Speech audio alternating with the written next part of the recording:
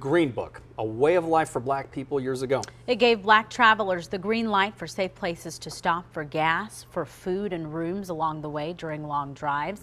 There's a movie depicting it and it's out now and as of just a few minutes ago, it's now an Academy Award winner. And it's also shedding light on how Oklahoma played a role. Pass it if you're driving down Route 66. May not look like much, but it is, making its mark in Oklahoma history. You may know it as the Threatt Filling Station. The purpose was to take care of the community and also to, to make sure that people of color, which is the black race, will have somewhere they can stop from East Coast to West Coast.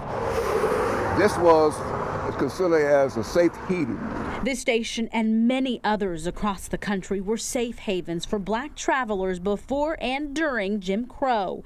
Stopping at the wrong station could be life threatening at the time. Because most uh, Caucasian towns, uh, blacks wasn't wanted at a certain times uh, they had signs, some towns even had signs posted on the edge of the town that after six o'clock, you're not wanted. What other experience do you have?